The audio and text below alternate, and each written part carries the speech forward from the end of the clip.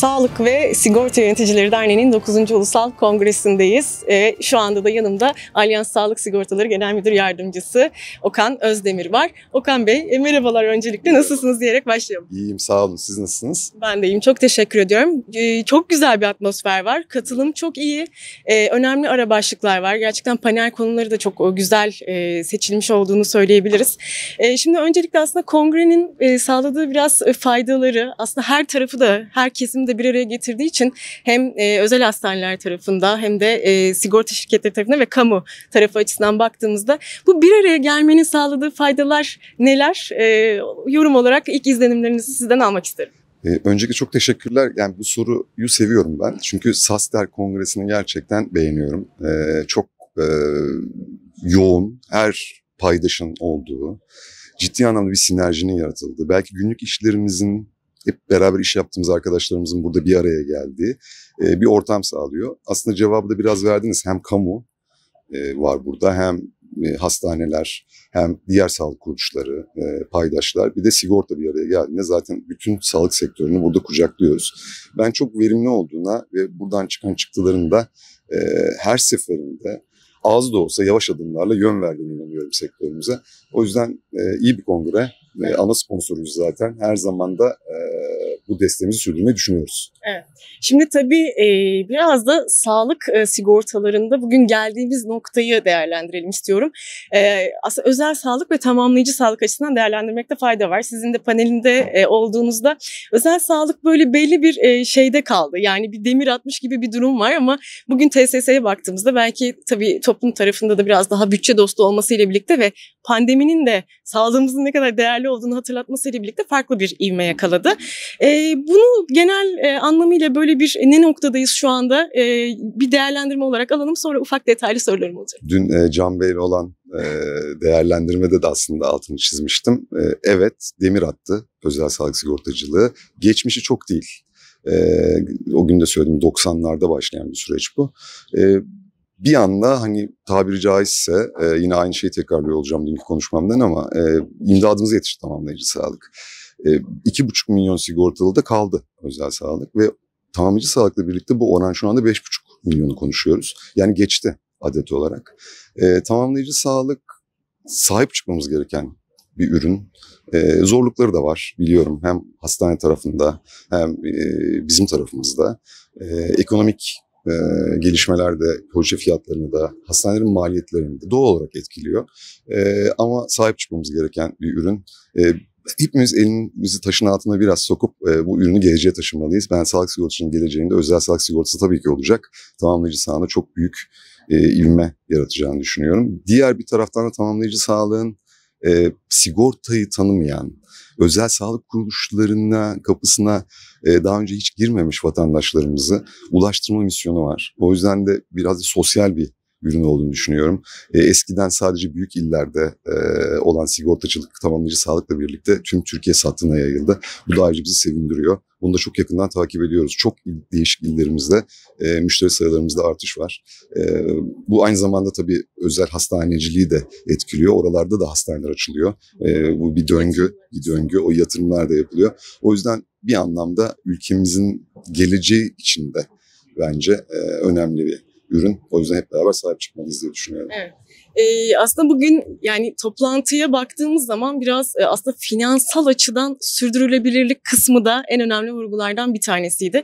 E, sonuç olarak hem özel hastaneler tarafına baktığımızda hem sigorta şirketleri açısından baktığımızda hizmetin sağlıklı yürümesi için e, belli bir e, karlılık noktasının da korunuyor olması lazım. E, bu noktada tabii maliyetleri de yönetmek oldukça önemli. E, özellikle vurguladığınız e, tabii ki kısımlar var. E, aslında sağlık sigortasının e, biraz daha işte kontrol altına alınması ile ilgili e, ve aslında hem sizin alyans olarak biraz bakış açınız çok farklı. Çünkü sadece ödeyen değil e, kavramını da e, söylemiştiniz. O çok e, önemli bir e, başlık.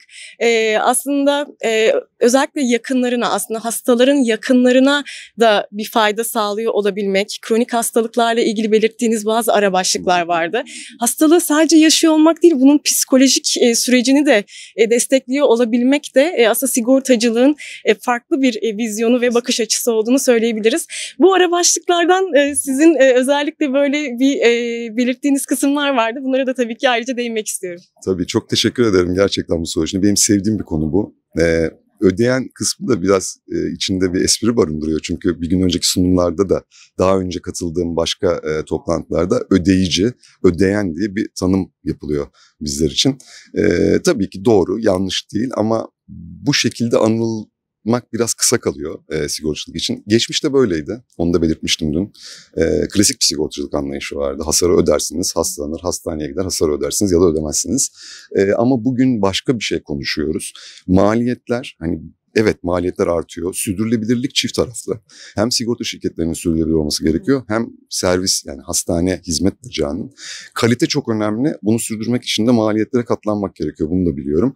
Ee, nasıl çözeceğiz bu işi? Evet önleyici çözümler çok önemli. Biz buraya çok odaklanıyoruz.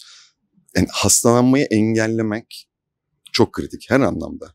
Ee, şimdi böyle olunca tabii hani hastane tarafında hastalanmayı engellemiş insanlar olunca hani servis Öyle değil aslında çünkü yaşlanıyoruz. Yaşlandığımız zaman ne kadar önleyici çözümler üretsek de illa bir bu ihtiyacımız oluyor bu e, hizmete.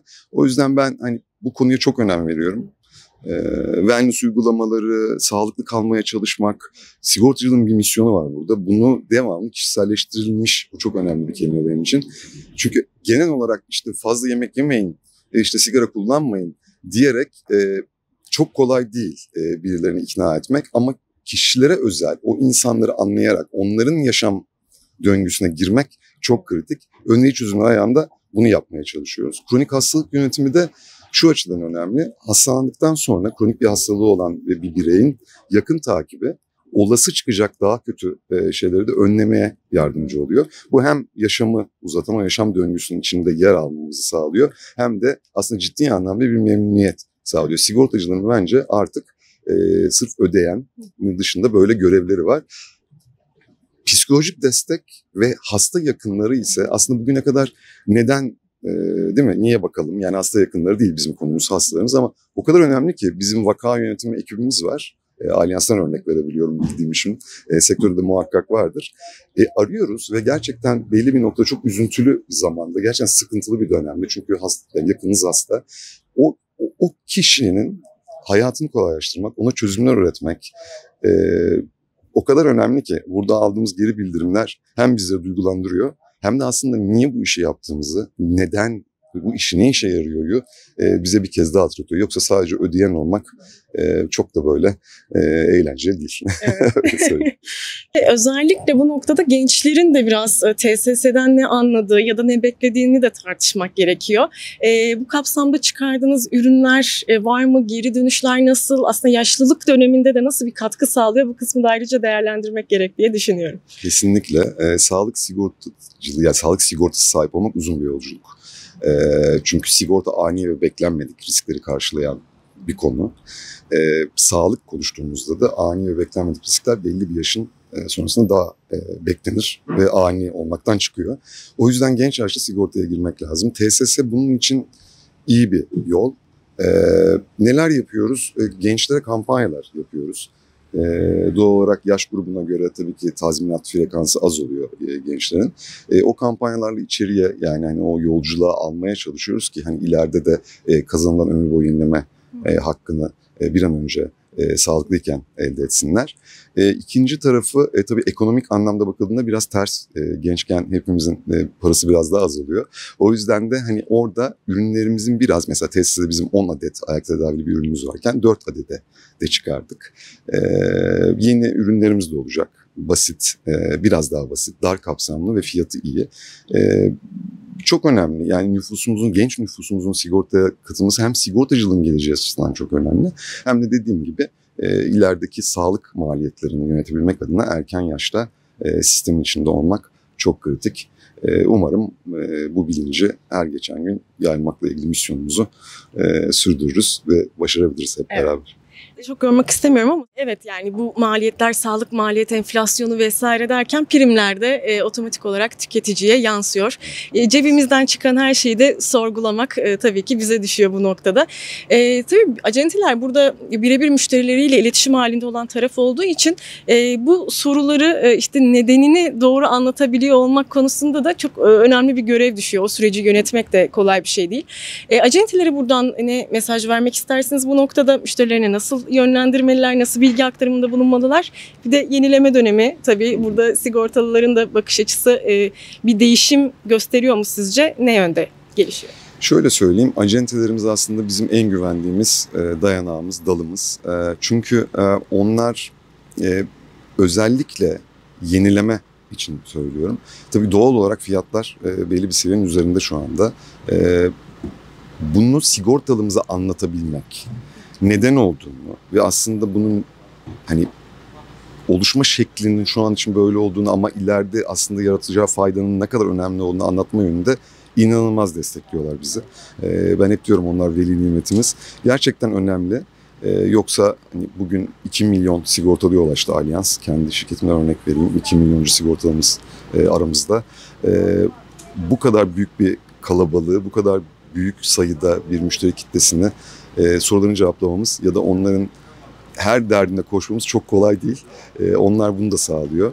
E, sağlık sigortacılığında özellikle yani diğer branşlardan biraz farklı olarak profesyonellik, e, ürünü iyi anlama, e, ne ödenir ne ödenmez, şartları nelerdir, ne olursa e, ne olur. Yani bunların hepsi belli dayanakları birbirine bağlı sağlık sigortacılığında. Bunu iyi anlatabilmek e, bir profesyonellik gerektiriyor.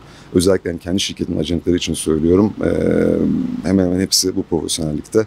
E, bu da bize ayrıca güven veriyor. Yani arkamıza böyle bakmıyoruz. Diyoruz ki doğru yapıyorlardır, doğru oluyor her şey. O yüzden bir kez daha teşekkür ediyorum Acente kanalımızda buradan. Sizin vasıtanızda. Çok çok Kesinlikle. teşekkür ediyorum. Çok sağ olun Okan Bey. Ee, e, bugün de değerlendirmiş olduk sizinle birlikte. Vakit ayırdığınız için çok teşekkür ediyorum. Eminim ki farklı konularda tekrar bir araya geleceğiz. Gerek sigorta ekranında her zaman olduğu gibi. Ee, çok çok teşekkürler. Ee, iyi Zevkle, güzel bir gün diliyorum sizlere. Sağ olun. Teşekkürler. Sağ olun.